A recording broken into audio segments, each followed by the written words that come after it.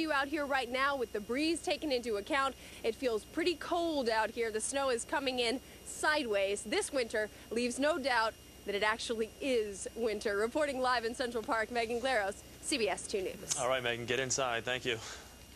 All right, every inch of snow that falls costs some town or city a small fortune to clean up. But in one part of New Jersey, they've actually found a creative way to reduce those expensive. Before a storm arrives, Montgomery Township now sprays a mix of salt brine and salt rock on its roads. The concoction allows the township to use 30% less salt, and it also cuts down on manpower costs because crews can spray roads.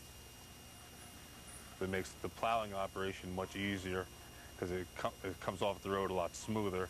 And also, at uh, a three-inch snowstorm, you only end up plowing like an inch and a half. It melts like the first inch, inch and a half. Besides being cheaper to use, the salt brine mix is also considered to be more environmentally friendly than salt on its own like that. Stay with CBS 2 for continuing Eye on the Storm coverage. Lonnie will be back in just a few minutes with the extended forecast. And also on our website, you will find live up to the second traffic reports as well as transit and any airline delays. All the information right there for you for your convenience. And there is plenty of it there. Up next, though,